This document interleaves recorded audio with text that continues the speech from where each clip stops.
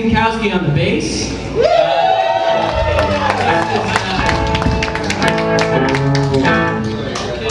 this is Michael D'Addario on the. This is Michael D'Addario. People will know who you are.